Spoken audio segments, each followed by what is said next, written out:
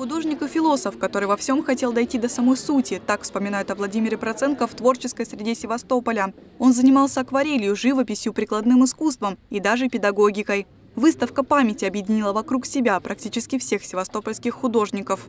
Он все мог сделать руками, он мог сам оформить работу, сделать раму, он мог из металла сделать какое-то из проволоки украшение, уже не говоря об акварели. А акварели он, по сути дела, говорил, вот у него, на первый взгляд, кажется, очень безыскусные такие пейзажи, а на самом деле ведь это, особенно херсонесские пейзажи, это разговор о чем-то, я не знаю, там о времени, о пространстве, о Боге, о смысле жизни. То есть это какие-то выдающиеся совершенно вещи.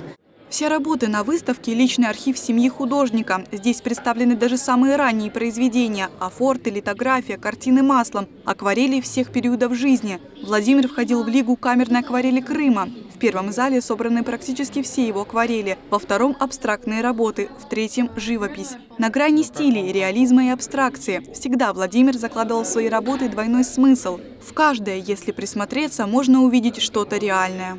Есть какое-то напряжение, есть вот это состояние мысли в конечном счете, да? И ведь, что самое интересное, вот эту маленькую работу можно увеличить, сделать большой-большой-большой принт, красочный, да?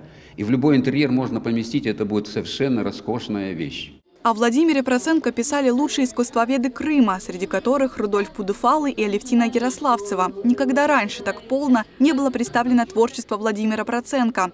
Выставка продлится месяц с 1 февраля по 1 марта. Александра Каплун, Деливер Меджитов, Новости XTV.